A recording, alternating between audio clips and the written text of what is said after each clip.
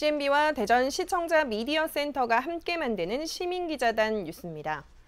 100세 시대 어르신들의 행복한 노후를 위한 교육 프로그램이 필요한데요. 대한노인의 대전광역시 연합회에서 경로당 의식 개선을 위한 교양 강좌를 운영하고 있습니다. 조재석 시민기자가 다녀왔습니다. 대한노인의 대전광역시 연합회에 찾아왔습니다. 우리나라 어르신들은 고난의 시대를 살아오시면서 오늘날의 풍요로운 민주 사회를 일궈오신 분들이십니다.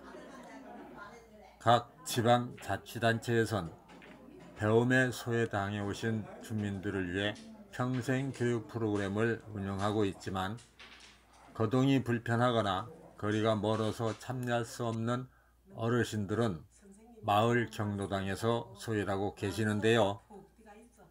대한노인의 대전광역시 연합회에서는 전국 최초로 경로당을 방문하여 교양 강좌를 실시하고 있습니다. 제가 100세 시대 신노인 교육을 도입을 해서 어, 한 2년 전부터 신노인 교육을 시키고 있습니다. 그리고 어, 웰다잉 교육과 치매 예방, 자살 예방을 주로 이렇게 교육을 어, 하는 중인데 인성 교육을 주로 시켜서 100세 신노인 교육을 활성화시키고 사회적으로 뭔가 참 존경보다도 뭔가 노인들이 앞서가서 모범이 되는 노인이 돼야 되겠다 하는 생각을 가지고 그래서 지금 의식 인성교육을 시키는 겁니다. 행복한 경로당, 존경받는 노인 사회를 만들어가기 위하여 경로당 의식 개선 사업으로 일반 교양 강좌와 웰다잉 강좌, 그리고 특화 강좌로 나뉘어 지난 3월부터 실시하고 있는데요. 이곳에선 일반 교양 강좌와 웰 다잉 강좌를 하고 있습니다. 죽는 거죠. 잘 죽는 건데 한마디로 말하면 아, 우리가 죽음이라는 것을 종전에 당하는 것에서 죽음을 맞이하자는 뜻이죠. 연합회에서 이런 좋은 강사님을 선택해서 저희 마을까지 오셔서 어, 강의를 해주신 데서 뜻깊은 하루가 됐다고 생각이 됩니다.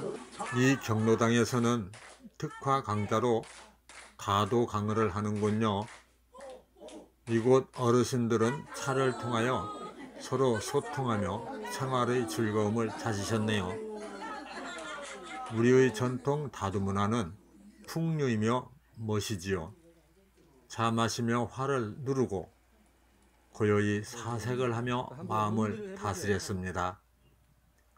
손님을 대접하거나 조상을 모시는 제사상에도 차를 올렸지요. 눈이 오고 서리가 오더라도 꿋꿋이 혼차서 꽃을 피운다고 해서 거만한 옷자에다가 서리상자에서 국화를 갖다 오상고절을 합니다. 네. 어르신들이 만족해하는 교육을 통하여 행복한 노후의 삶이 되시길 바랍니다.